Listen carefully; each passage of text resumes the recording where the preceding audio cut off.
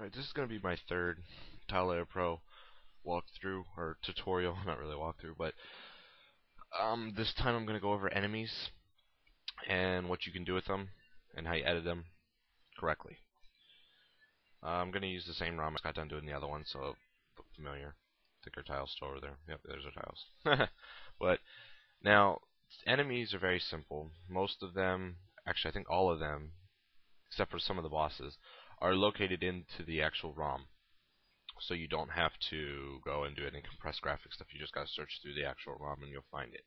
Um, the first thing you want to do is just find an enemy that you want to edit. You could edit the ship, that's an enemy, um, but you could start with something smaller. So you could kind of just go through species and kind of look for something that you want to change. And you kind of got to keep in mind if you want to make an enemy that looks like a thing that crawls on the ground, you're going to have to use something that crawls on the ground, like a zoomer or something. Or if you want something that flies sporadically, you want, like, I don't know, something like this, or, you know, one of these. Just something that does what you want it to do, because you're not going to be able to change how it uses those animations and how it moves your new enemy around without ASM work, which I don't know how to do, and um, I only know a few people that could probably actually do anything like that. So let's find something simple. I don't know. Uh, I mean, you could take like just take one of the zoomers. First thing you're going to want to do is go over here in the DNA and find its palette so you can see what it's actually going to look like. Edit it and export it and it'll save it as normally the species at dcff.tpl. Okay. Now, we're done with that. Come over here, go back to our TLP, and open up our ROM. Hmm. Then, go ahead and load our palette. This one right here. Yeah. Alright, now the fun begins, and you just gotta search through and find it. Now, most of the time their tiles are kind of close together, so you can normally tell whenever you see it. So, just go over here. And the enemies are normally always in the same spot. Like, I think these are Samus animations, and then the, above that was the power-ups. Down here, like right about here, is it? Yeah, I think this is where the enemies start. You can see some, like right here, Spore Spawn, you can tell. Even with the wrong palette, a lot of times you can find it. So now you just kind of got to scan, like right there's those bugs that nobody ever uses. That looks like the top of the thing that runs fast. It shows you how to use the Shine Spark. And these are the flames for. These little sticky guys jump in the air. People that bounce around. I don't know any of the names of these people. But trick is finding one we want. Yeah, like right here's the ship tiles. And then space pirate tiles. And these look like crocodile tiles. I think you can pretty much edit any enemy. There, there, it looks like right here. Possibly. Yeah, here we go, right here. Okay. Now, we finally found parts of him. Like I said, most of the time they're right next to each other for the most part. But now the fun begins. You have to kind of piece them together so you can see what he does. And at times it's easier to go into a room that has those particular guys. Oops.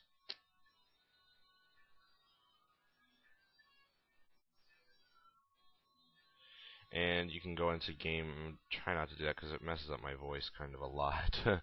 But it like makes it fall behind the video. But you just kind of look at them so you can get an idea of what they look like. Most of the time you can do it by yourself. So we know that these four pieces right here are the top. So you're going to want to drag those over. Remember to transfer to the arranger so the palette's the same. And then you got to find the bottom, which, I don't know, could be like these pieces maybe. No.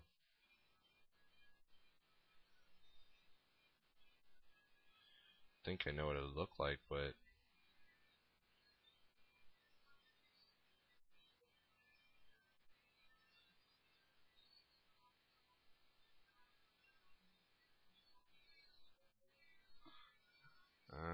can't tell if that's what it would be or not.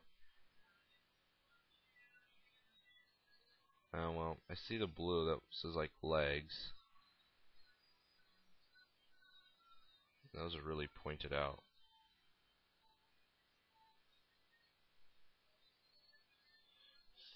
Hmm.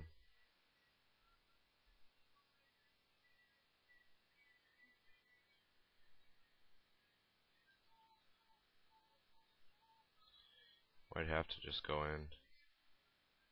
Oh, here, let's do this. So now we can see that it takes the see this is why I was getting confused. It takes those tiles that we put together, but it also takes those blue tiles and puts it over top the zoomer as its feet moving around. Now the problem with that is that they don't just connect all nice together like some of the enemies do and they're all one piece, but it's actually the enemy and then some pieces laying over top the enemy which is no problem. But now you see you have to kind of slow it down and watch it so you understand how it moves.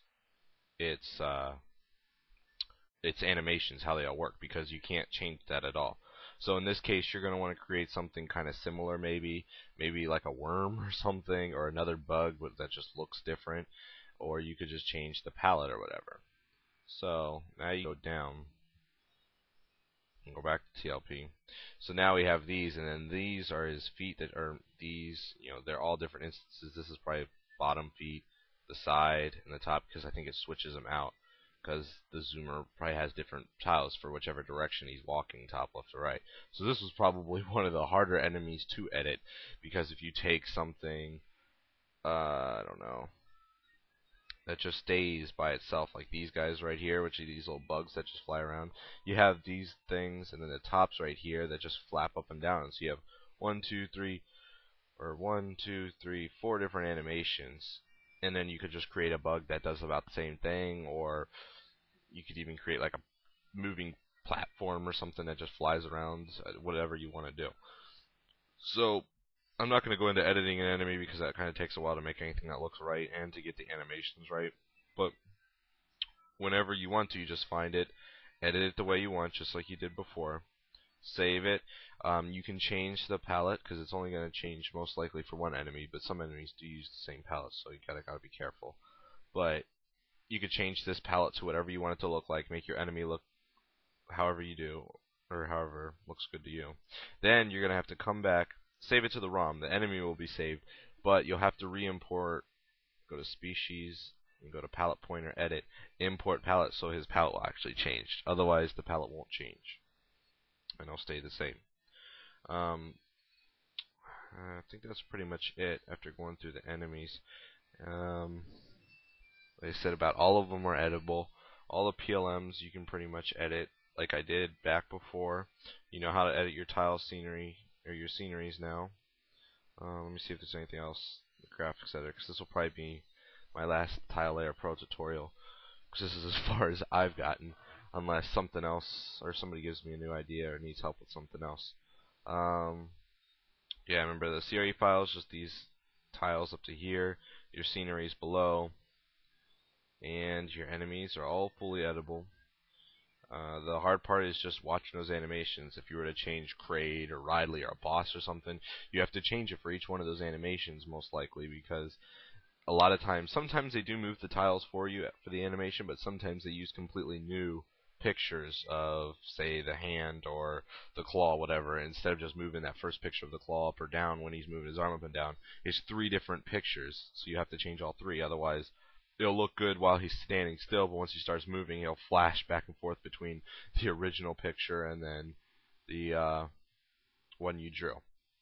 But otherwise, um, that's about it for Tile Layer Pro. Once you've got that down, you got the basics of being able to create a completely new game and change all the different tiles that are uh, out there to anything you want. Um, I think that's it. So hopefully you got something out of this. It was kind of disorganized, but I normally don't go over these as like a rehearsal or anything. I just sit down and do it. But uh, thanks for watching. Thanks.